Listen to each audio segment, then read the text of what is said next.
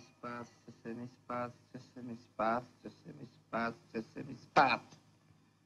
Spát se mi chce. Co se mi chce? Spát. Spát se mi co? Chce. Komu se chce spát? Mně ne. Já neusnu a neusnu. Ale vždyť už spíš.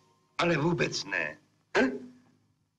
Maruška, bdím nebo sním? Ovšem, že sníš. Kdyby to nebyl sen, no pak bych uměla tohle.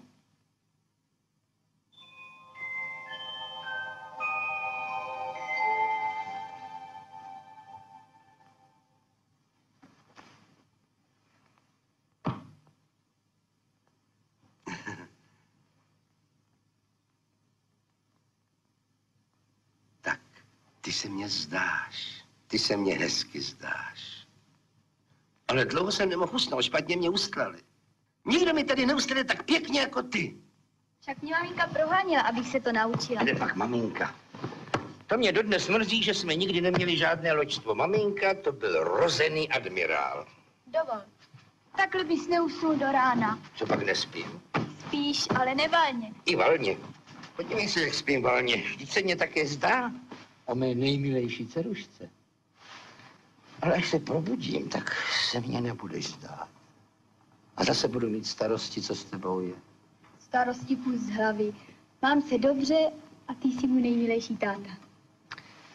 A ty jsi můj nejmilejší sen o mé paličaté dcerušce, která se vrátila k tatínkovi a tatínek ji odpustil. Co jí odpustil? No s tou solí, teď víš. A to mi nemáš co odpouštět. Tak když se chceš hádat, tak zmiz. Tati, neříkej. Nebo to udělám. Počkej, počkej, ještě ne, ještě ne. Tak, ty chceš porád tvrdit, že sůl je na zlato? No a není. Není. Bez soli se každý obejde. To by se vidělo. A to se uvidí.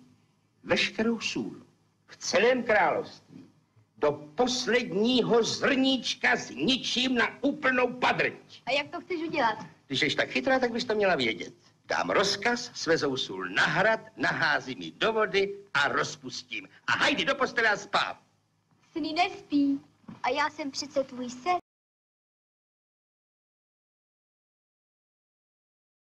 Děkuji. Škoda, že zvadne.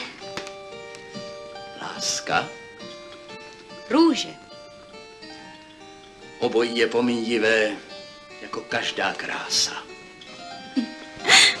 Tohle všechno jste přečetl. Nuda, jako ostatně všechno tady na Duchcově. Vy se nudíte. Tak strašně, že nuda je bezmála mou jedinou zábavou. Víte, že jsme všude, kde jsme byli, slyšeli jen o vás? Doufám, že všechno jen dobré. Dovolíte? Nedal byste mi přečíst vaše paměti? Eh, Prosím, tisíckrát za prominutí. Ne, a proč? Ani když vám řeknu, že jsem přišla právě kvůli nim? Pro boha milosti. Neříkám, že nechci, ale nesmím. Zač mě máte? Jsem přece vdaná žena a znám všechno, co se dá poznat. Nebo se vám zdám příliš mladá? To není otázka věku. To je svět, před kterým cítím povinnost vás ochránit. Já žádného ochránce nepotřebuji. A vy také rozhodně na žádného nevypadáte. Škoda, že máte o mě tak špatné mínění. Ty druhé ženy měly snad lepší. Milosti. S těmi se vy přece nesmíte srovnávat. Vy byste se do takové situace dostat nemohla. To má být poklona nebo urážka? Celý život tvrdím a hlásám, že ženy jsou cnostné a věrné. Patrně jsem neměl to štěstí, abych se s nimi setkal. Až s vámi. Pane Kasanova, tak tohle ne. Co pak jsem přišla včera z kláštera? Nebudu vás rušit.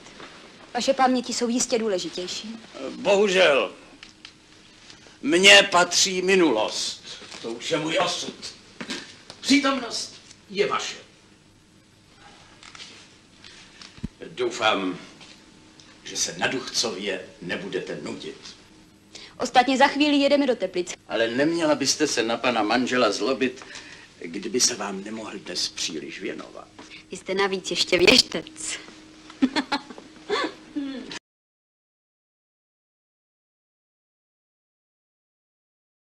My dvě pod jednou střechou nebudeme. A uvidíme, která půjde dřív.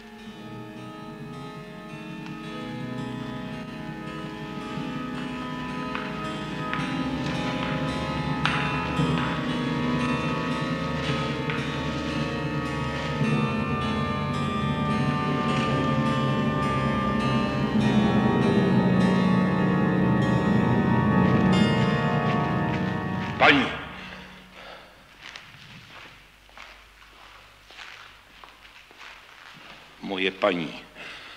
Dějí se strašné věci. Do pokoje, kde bydlí. Divoženka? Sedm krkavců nosí kopřivy.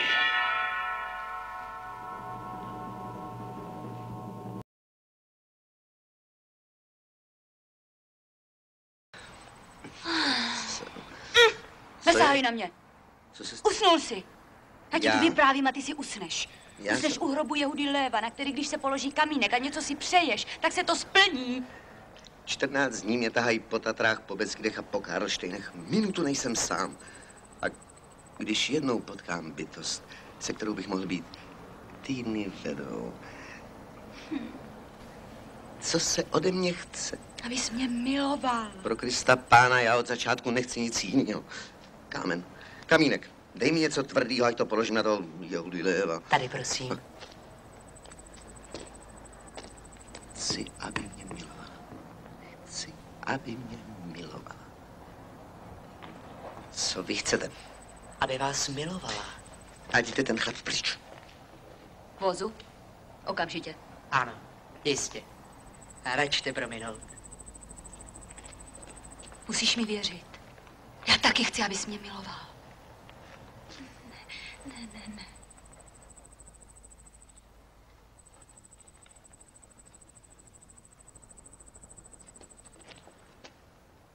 Ať mě miluje.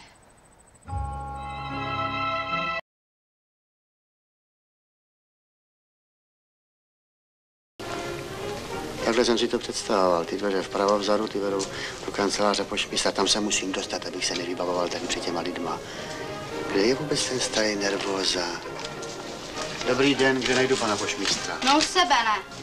Babi, nezlob, já ti za figuru nemůžu. Hergo, toto nemůžete pořádně zabalit. Jsem to na tom špagátu dotáhl až sem, tak... Vy mě tam pustíte tady? Okolo, okolo, jděte. Děkuju, děkuju. To by vám to mělo ochotu. pušte ještě bavit. Pořadí je jasný. Pozdrav, pak ta finta s mikroskopem, potom legitimace, vysvětlovačky a na závěr ukázat stovky. Co to? Snad tam ten chlap nemá nějakou tu cáculindu.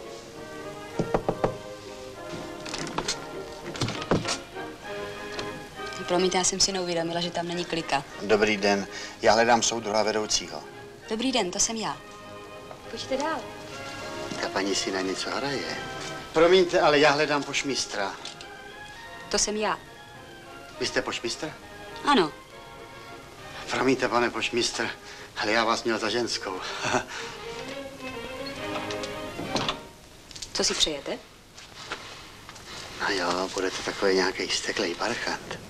Mohl bych na něho počkat? No to nemůžete. Proč ne? Soudruh Houdek dostal záchvat. Co dostal? Odvezli ho v noci do nemocnice. To to hezky začíná. To bych to zabalil a šel domů. Takže vy ho vlastně zastupujete. Řekněte, co si přejete, nemá mnoho času. Přicházím se zvláštním úkolem operativní skupiny státní banky Praha, prosím. Mé jméno je Winter. Víc to přehodil bejku. Nejdřív měla být ta finta s mikroskopem. Promiňte, nějak se to otvírá. Je to takový starý krám, než nám dají něco pořádného, tak to trvá věčnost. To konečně u vás také, ne? No je, je. Dovolíte. Prosím. Nerozkecávej se. Abych přešel k věci. Objevily se nám tady takovéhle věcičky. Je to série CL52 a CL50. Jsou samozřejmě kousnutí. To slovo dělá ti vy. Nechci říct falešný, je to docela šikovně dělané. Pozná se to jen mikroskopem.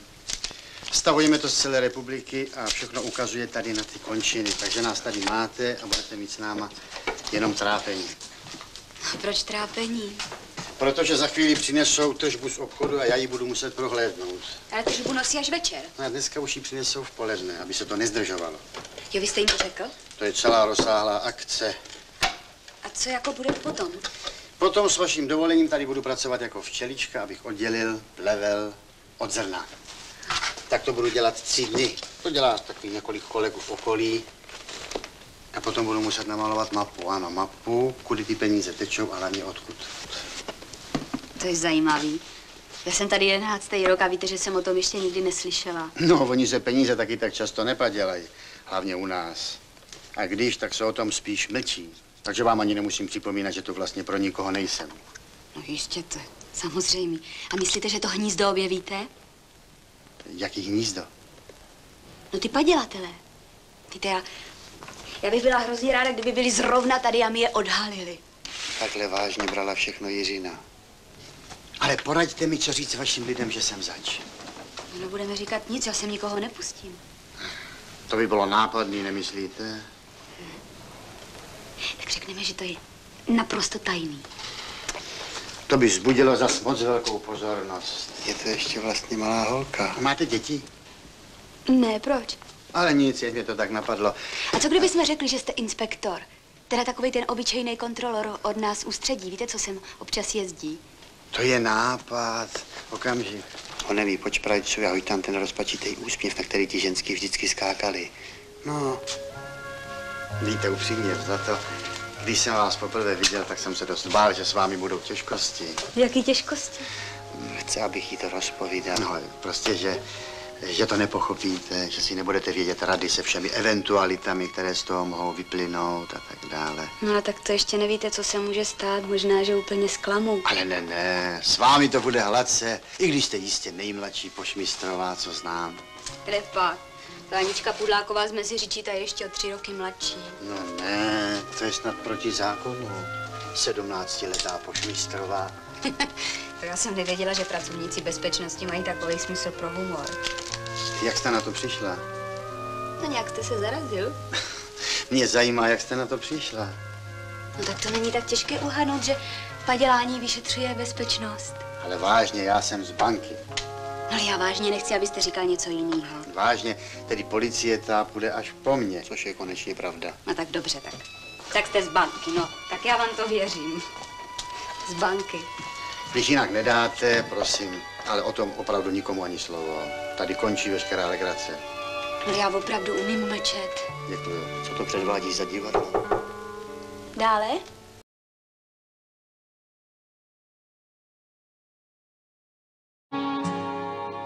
Přijde k tobě pohádka, sněhurka už spí. Ve skleněné rakvi. Růže kolem ní. Zavři očka, zavři i král Pane Mrázek, skočej si do kuchyně. Kuchařín zkazuje, že má pro ně tu krkovičku. Pro něco extra. Jo a za mým kaslíkem je flaška francouzáku. Tak si posloužej na zdraví. Tak děkuju, Pepi. Řála peřina, ruce věrné chůz. Der Chef wartet oben. Appartement Nummer 223. Wie immer, Herr Irrmeier. Danke, Pepi. Bitte. Zavři očka, zavři a spal za chvíli. A spal jako král.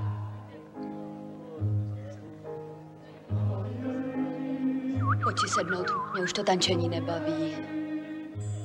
Hmm, to děláš chybu, holka. Od našeho stolu na toho perského fešáka moc neuvidíš. Že si drzej, to vím dávno, ale že si hloupej, to už mě vadí. Člověče, je mi nějak blbě. Skočím si nahoru, dám si sprchu a převlíknu se.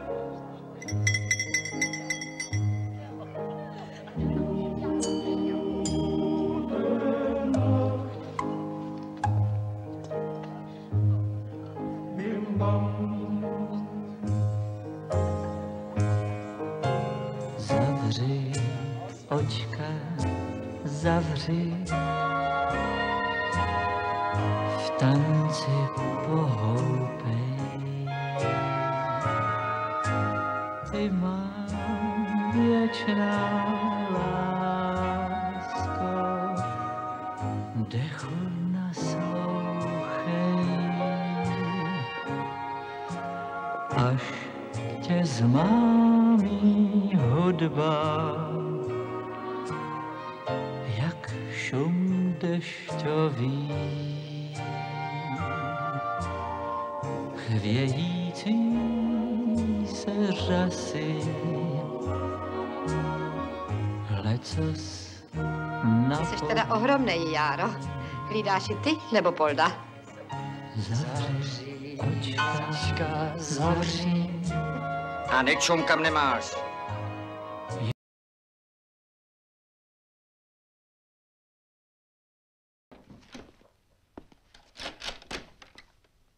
Dobrý večer. Dobrý večer. Co se děje? My bychom s tebou chtěli prohovořit tu otázku toho, no.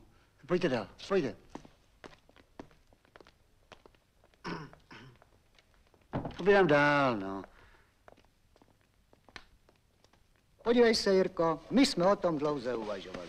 My tě nechceme do ničeho nutit. To bych vám ani neradil. Ale zkus si to představit. Když si Hujer udělá tu průmyslovku a ty ji mít nebudeš, bude to katastrofa, poněvadž se bude drát na mistrovský místo. A sám se viděl, jak se na to místo třese. A já se mám kvůli Ujerovi v tomhle věku učit vzorečky a psát domácí úkoly, ne? Pane Kroupa, vy, že byste to nesved, to mi neříkejte.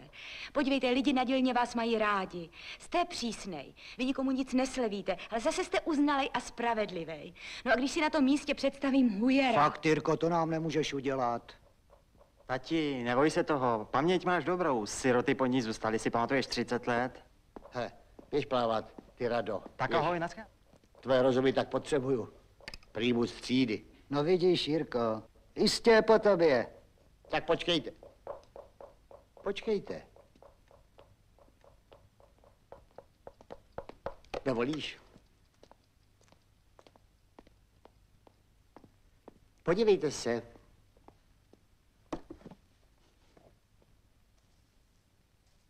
I kdybyste mě rozkrájeli na takovýhle nudličky, tak mě do žádné školy nedostanete.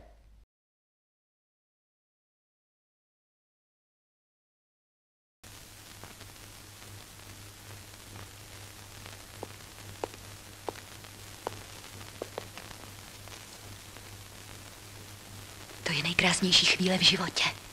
Vybírat si ženicha. Vybírat? Vždyť bude jen jeden. Tak, hotovo? A teď ještě tu růžovou brož. Ne, to přece správně. Náhrdelník.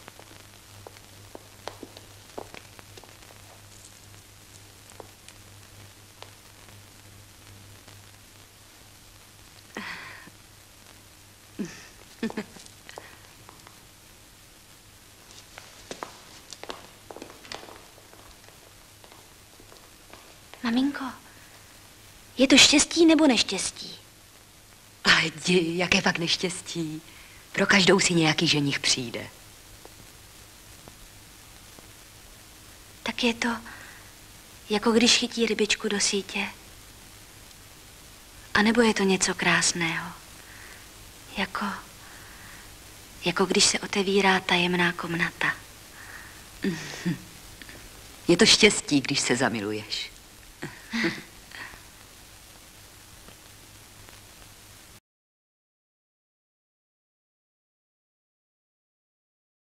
Veliký úspěch. Tak co pak na nás chystáte tentokrát výsosti? Nechte se překvapit, milý Linkhofer. Doufám, že Fischer mu nic neprozradila.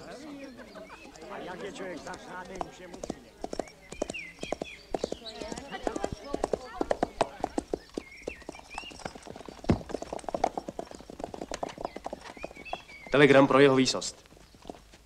Díky. Čili Nývlte, až skončí lov, arcivévoda nenápadně zmizí a kočáry se seřadí na prohlídku vesnic. Ty pojedeš v tom prvním. Pojď, zkusíme si to s těma rukama, jak jsme se to včera učili. Ať žije František Ferdinand. No vidíš, dobře. A jedeš jako, jedeš. Sláva následníkovi. A nešťouruj se pořád v tom nose, Au. kolikrát ti to mám říkat. Jsi Habsburg. Když tam něco máš, tak se vysmrkej. Mě to nebaví. Tak to ne, Nývlte. To ne. Podívej se na svoje ruce. No podívej se. Bratrovrah, otcovrah, strýcovrah a tetovrah. Uškrtil si prakticky všechny svoje příbuzný. Kdybys mu nebyl podobnej, strávíš zbytek života na borech. Tak si to rozmysli.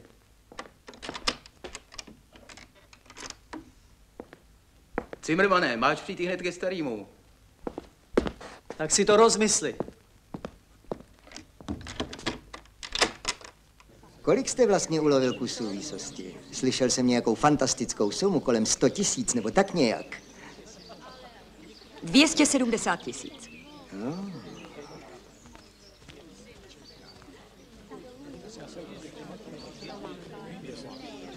Co se stalo, Franci? Už je to tady. Císař? Hm, jo. Franci.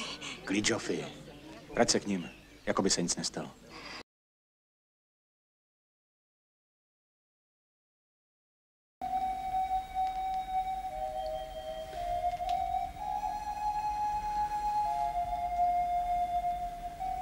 Jakou jsi měl cestu? Děkuji. Neptám se ze zdvořilosti. Chci vědět, co jsi viděl. Bídu, hlad, spáleniště. A nepotkal jsem jediného kupce. Nejsou si jisti ani s božím, ani svým životem. Toto je jediný můj slavnostní oděv. Věřil bys, nevěřil, že? Ne, Věřit své královně se trestá. stačí ti vypsat daň pro město Opavu. A sami přiběhnou se svým zbožím. Nechci, aby přiběhli. Chci, aby mě ubránili, jestliže sem přitáhne Ota Braniborský. Ota Braniborský má jiné starosti. Nechá tě na pokoji. Snad. Ale moje chudoba a nedůstojnost mého postavení jsou má jediná zbraň. Proč se jí zbavovat pro kus sukna? Opavští jsou jediní, kteří jsou mi věrní. A víc než věrnost po nich nežádám. Věrnost se ovšem ztrácí velice rychle. O tom bys měl něco vědět. Proč právě já? Chtěla jsem říct, že jsem chudá a že nemám čím odměnit tvé služby. A byla bych ráda, kdybys to tlumočil tvému pánovi. Dohodneme-li se s mou paní ty? Podle práva bych byla tvou paní, kdybychom se nedohodli. Právo ovšem není v těchto časech příliš rozhodující. Přesto na něm musím trvat. Trvat na právu v zemi, kde nemám žádné právo. Směšně málo, co? Ale je to to jediné, co mohu. Když jsme se postavili proti přemyslu Otakarovi, nechtěli jsme také nic jiného než své právo. A dostali jste je. S Habsburskou pomocí jste je dostali. A chcete teď, abych je potvrdila? Nestačí vám, že je potvrdil Habsburg.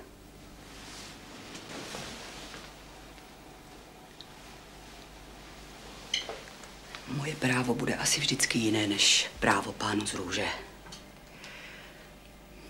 A tak si myslím, že se sotva dohodneme. Že mě sotva uznáš za svoji paní. Nic na tom nemění, že já opravdu jsem tvoje paní. Že bych tě opravdu mohla dát pověsit na Opavském náměstí. Už pověsit? Zatím byla řeč jenom o meči. Byla bych ráda, kdybys řekl svému pánu. Nemám pána. Kdybys tedy řekl Rudolfu Habsburkovi. Rudolf Habsburg není můj pán. Proč křičíš? Myslíš si, že mě přesvědčíš silou svého hlasu?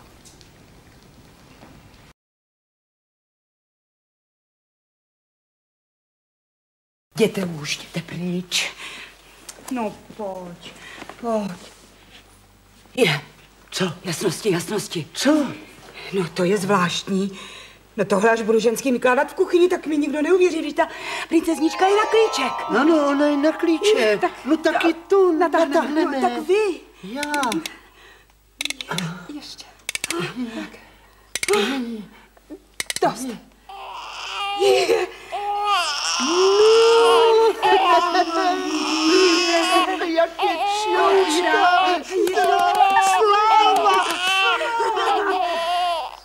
No, no,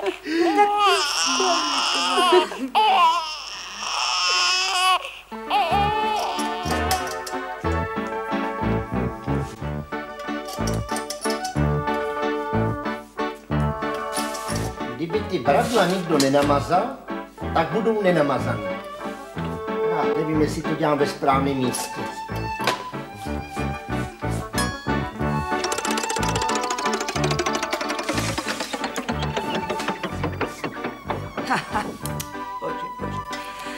Došlo péro. Já si na tu šálu nikdy nedopletu. Tohle by potřeboval někdo namazat, ne bradla. No, tak princezno, šup. Teď se na to neudrží ani úhoř. Poslyšte, Amálie, to musíte pořád Imrvére tak neustále rencat? Vám nestačí, že jste to u mého dvora za těch pár let dotáhla ze služky na panskou z panské, na komornou a z komorné na guvernantku?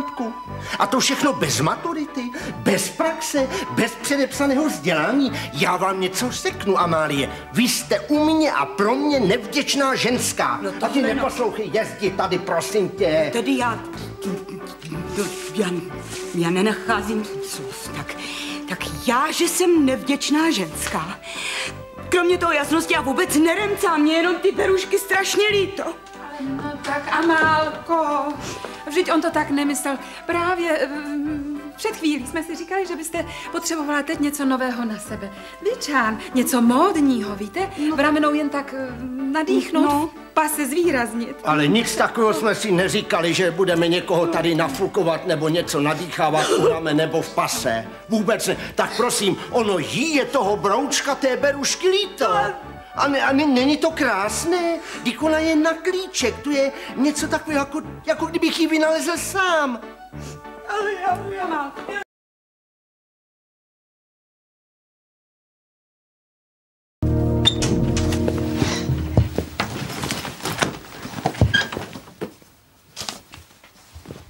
Počkej, ty už vážně odjíždíš. Musím. Já jsem ti tady ještě přinesla ukázat, podívej. Je, to jsem já. Ach jo. Ale nechce se mi. Je Hmm. tady je Jana. Jo. Evi, prosím tě, dej na sebe pozor, jo. To víš, že jo. Hmm.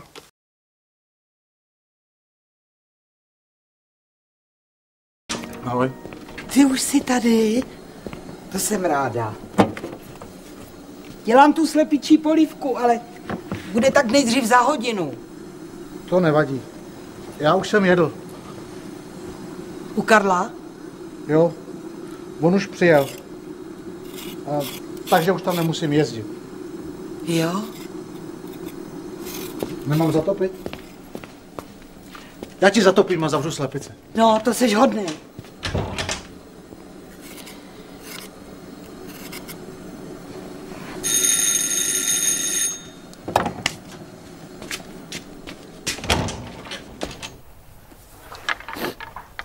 Dobrý večer, já jsem Květa. Jo, já vás znám, slečno. Z telefonu. Prosím vás, mohla bych s váma mluvit? Co od nás chcete? Chtěla bych se občas vidět s vaším synem Mirkem. A proč? No, protože je nám spolu dobře. Jděte pryč. A třeba taky proto, že Mirek zbije každýho, kdo se na mě křivě podívá. A třeba taky proto, že když upadne do louže a usne, tak já ho zvednu.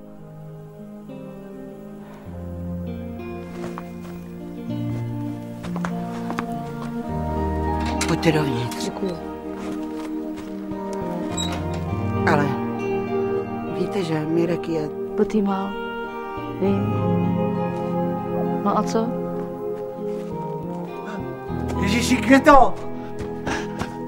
Ty jsi tady. Jo.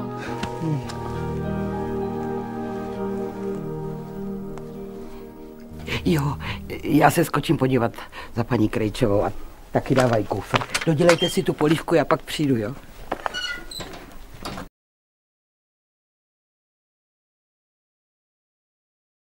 Ty se zase válíš v posteli, že tě to baví. Počkej, jednou dnes zatelefonuju.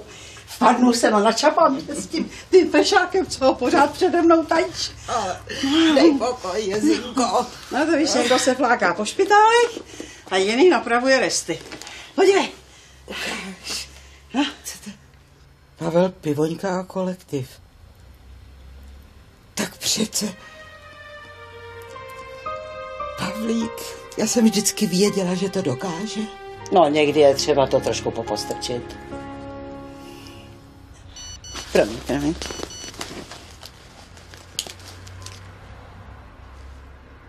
Michal Dolejš, první A, 80. Znáš ho? Gauner nebo genius.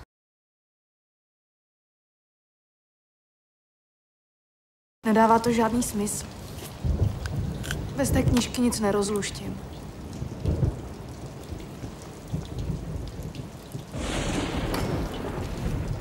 Co to tady máš za srandovní drbátko? Prosím tě, polož to zpátky. Tak co to je? Nějaký talisman? Říká se tomu jad. Židé pomocí toho čtou v Talmudu. A tenhle je starý aspoň 500 let. A kde jsi to vzala? V loni v létě. Přednášela jsem taky na univerzitě třetího věku. A stala se mi tam taková divná věc.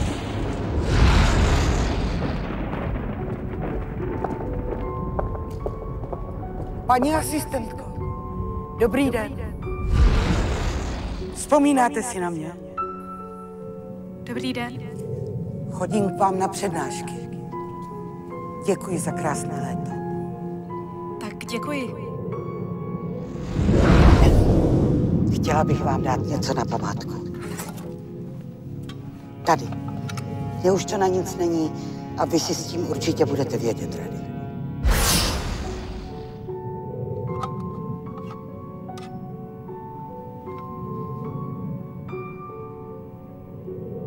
To si opravdu nemůžu vzít. Ne, děkuji. Ale jen si to vezměte. Třeba se vám to bude jednou hodit.